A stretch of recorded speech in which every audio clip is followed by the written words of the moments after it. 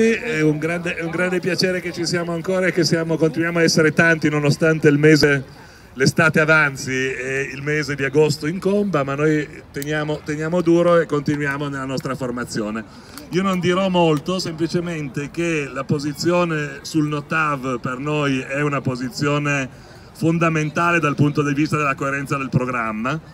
perché non è possibile presentarsi come una lista per i beni comuni senza prendere una posizione chiara e netta su quella che è la grande opera inutile e dannosa per antonomasia del nostro paese intorno alla quale si sono svolte delle, si sono veramente articolate delle sperimentazioni sociali sia dal punto di vista della repressione, la Valle di Susa è un problema serio dal punto di vista del, di, di quanto lo Stato sappia diventare Stato di polizia nel momento in cui deve sostenere gli interessi del grande capitale, quindi questo è un punto molto importante, ma anche dal punto di vista di come le popolazioni riescano a eh, formarsi e a ecoalfabetizzarsi, come diciamo noi, fino al punto da diffondere una cultura relativa al loro territorio, alla dannosità di quest'opera, che è stata la vera forza del movimento Notavi in questi anni. Un movimento che è partito, come capita a quasi tutti i movimenti,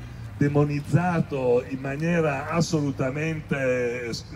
come dire, disordinata dei media dominanti, non che le cose siano cambiate, ma sicuramente l'apprezzamento dell'opinione pubblica per quanto avviene in Valle di Susa è cambiato enormemente. C'è stato un tentativo qualche anno fa,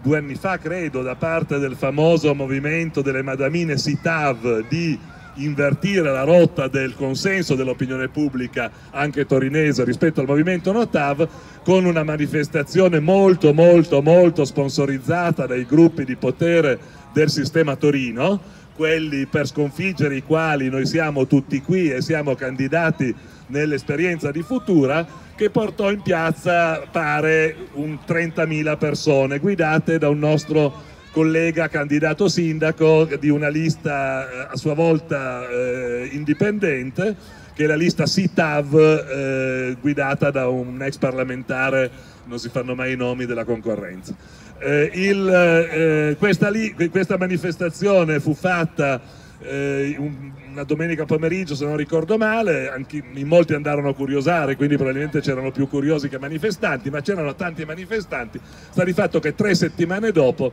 rispondemmo con una manifestazione che sostanzialmente portò quasi 80.000 persone in piazza, quindi davvero fu, la città di Torino fu capace a surclassare con i numeri quel particolare tentativo di sovvertire eh, come dire, la eh, presa di coscienza di quanto il TAV Torino-Leone costituisca in realtà non un progetto di ferrovia, ma un vero e proprio progetto di società perché quella ferrovia lì probabilmente ce lo dirà bene Tartaglia, mai vedrà la luce, ma sicuramente il progetto di società, il progetto sociale, culturale ed economico che sta dietro quella visione, quella delle grandi opere, è con noi perché è una delle cifre importanti del neoliberismo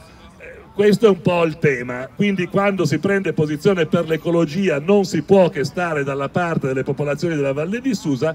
La città di Torino è coinvolta direttamente, è vero che non c'è una diretta eh, come dire, responsabilità del sindaco di Torino rispetto a questa vicenda, ma il sindaco di Torino è anche sindaco metropolitano e quindi la giurisdizione della città metropolitana raggiunge tutti i territori coinvolti nella questione, nella questione Notav. Siccome noi abbiamo anche come, come, dire, come eh, DNA il tentativo di ripristinare la democrazia, e siccome l'abolizione delle province che per fare a favore della città metropolitana costituisce uno dei gravi vulnus che il neoliberismo nella sua versione renziana ha inflitto alle nostre collettività, io ho sempre detto dall'inizio, abbiamo detto sempre che cercheremo di fare un progetto che sia un progetto almeno a livello di città metropolitana. Quindi la nostra visione della città di Torino sarà quella di una città che deve per forza porsi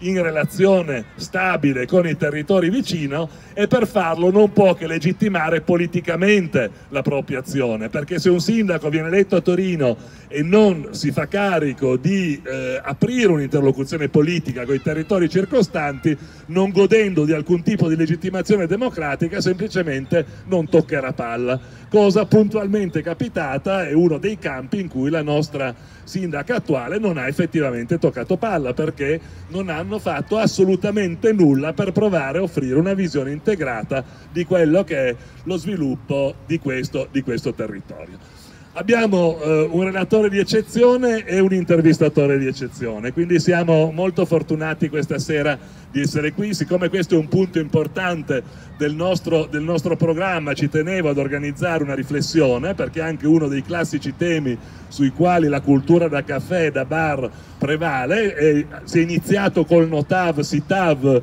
la politica delle opposte tifoserie che è quella che ormai purtroppo è l'unica essenza della politica italiana, no? non ci sono più ragionamenti politici nell'interesse di tutti per trovare dei punti di convergenza nell'interesse generale. L'unica cosa che c'è sono opposti schieramenti opposte tifoserie e secondo me quella sperimentazione lì è nata a sua volta in Valsusa, no? in cui si è costruita tutta questa narrazione di scontri. Questa narrazione esiste ancora e quindi eh, diciamo, è importante avere degli argomenti solidi per poterne parlare. Ho chiesto a Sabina di presentare i nostri ospiti e di moderare questo dibattito, cerchiamo di mantenere, naturalmente il relatore farà la sua relazione lunga il tempo che riterrà necessario e poi faremo delle domande, quindi soprattutto Nilo io spero che tu riesca a fare delle domande precise e puntuali in modo che possiamo aprire diciamo, una vera e propria conversazione collettiva. Grazie infinite, grazie Sabine.